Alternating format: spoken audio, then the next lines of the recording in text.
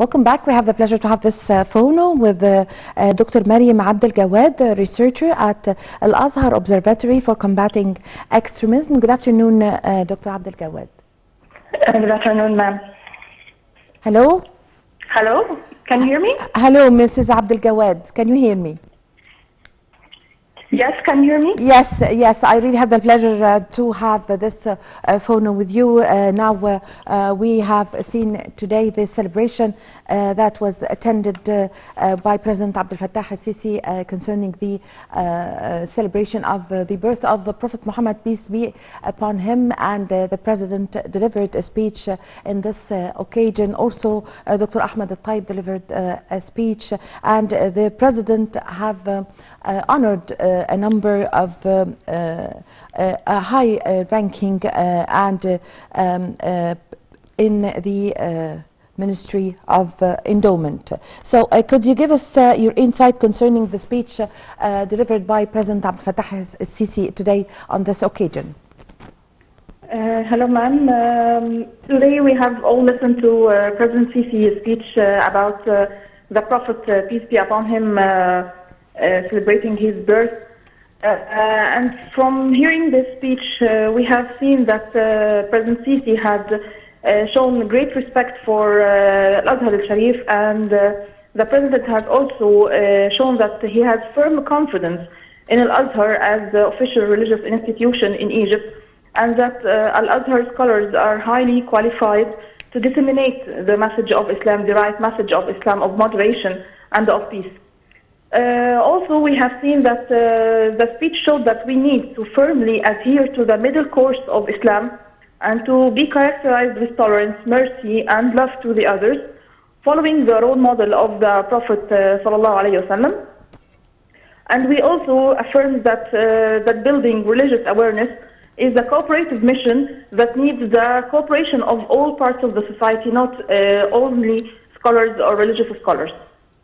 Yes, uh, so um, uh, Mrs. Abdel Gawad, uh, in the occasion of uh, the birth of uh, Prophet Muhammad, peace be upon him, uh, uh, the model or uh, the role model uh, for being uh, uh, honest and uh, uh, truth-worthy, uh, uh, how is uh, the uh, Al-Azhar um, uh, Foundation uh, spreading the message uh, of uh, tolerance and uh, uh, peace uh, uh, that uh, was raised by uh, uh, the message of uh, Prophet Muhammad, peace be upon him? Uh, of course, as everyone knows, uh, Al-Azhar uh, institution for a long time has been very keen on spreading the message of tolerance and coexistence among people of different races, religions, and cultures.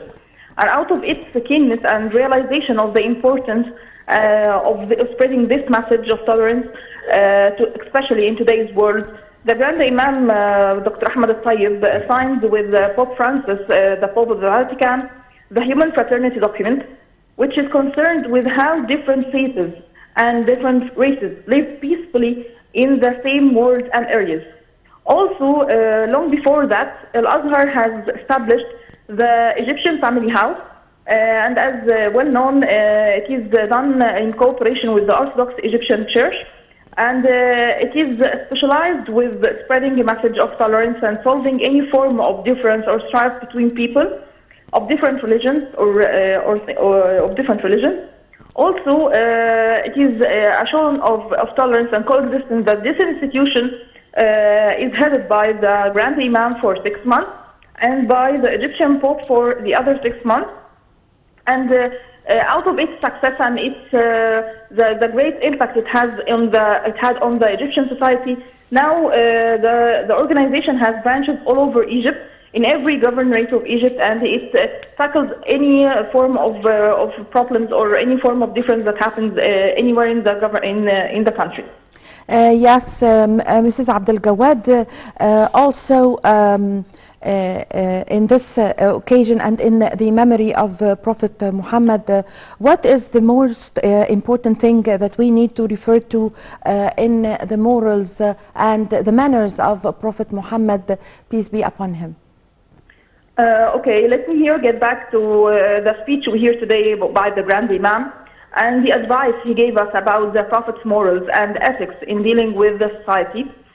Uh, like the Grand Imam said, he, the Prophet uh, sallallahu was never a tough-hearted man, never ill-mannered, whether verbally or physically, or and he never used a high voice uh, in the streets or in shops. He also did not uh, respond to a bad behavior with another bad one. No, he was always forgiving and always pardoning those who had uh, uh, done anything ill to him. Also, uh, the Prophet uh, sallallahu never bait someone, uh, whether a servant or a woman. And instead, he was extremely a generous man. Used to check on his companions, and whoever came to him with a need or with a thing to be done, the Prophet wasallam never uh, turned him back without his need uh, answered. Also, he used to be uh, merciful on the young, and he gave priority to the needy and kept the right of uh, the foreigners. And he has established many, many uh, pacts and ethics to, uh, to, that we can lean on today about how to deal with the other and have and about coexistence and tolerance. That he has saved the rights of the Jews and the Christians whenever uh, Islam was uh, is, uh, was uh, prevailing. Yes, uh, so uh, Mrs. Abdelgawad, uh, how can we provide uh, the uh, youth and uh, the young children uh, with the uh, these manners of uh, Prophet Muhammad, peace be upon him, and with the message of tolerance and peace of Islam? Uh, through uh, the uh, education and the syllabus in the schools or through media or what are the channels that we can provide the young people and the children with this information? Uh, I believe that we need to, to teach our children uh, uh, about the morals and the ethics of the Prophet, peace be upon him, and how his position with the other was that of moderation and peace, following and that following those values and teachings would get, would get us through all the challenges or the crises that we face every day. And let me here uh, give you an example that uh, he is, uh, sallallahu wasallam, the one who taught us that you are created from Adam offspring, and Adam was created from clay, which is to confirm that all people are equal no matter how they differ in color, in race, religion, or culture. Another example we can set here is uh, while the Prophet, this is a very uh, famous uh, setting that we have, and we all, most of us know that uh, when uh, a funeral of a Jew passed uh, in front of the Prophet in the Medina, uh, he stood up to this funeral and when uh, he was asked by his companion, why did you ask, why did you stand up, uh, he answered them, uh, wasn't this man uh, a human being, a human soul that has been lost? And this shows how much respect he gave to uh, humanity, to every one of human being, or to, to all uh, human beings, no matter how they were different in his, uh, from his religion or his race. Uh, I guess we, if we could deliver these simple messages to our kids and our children in schools and in universities, uh, we would uh, receive a lot of positive uh, vibes from them, and we would uh, give them the true idea of Islam and how Islam can treat those who are different from him, and that we should be all kind and merciful towards everyone around us. Yes, I thank you very much for your time and for your valuable, uh, information, uh, Mrs. Uh, Mariam uh, Abdel Gawad, the researcher at Al Azhar uh, Observatory for Combating uh, Extremism. Thank you very much for your time. A short break, ladies and gentlemen, and I'm going to be back with you. وأجل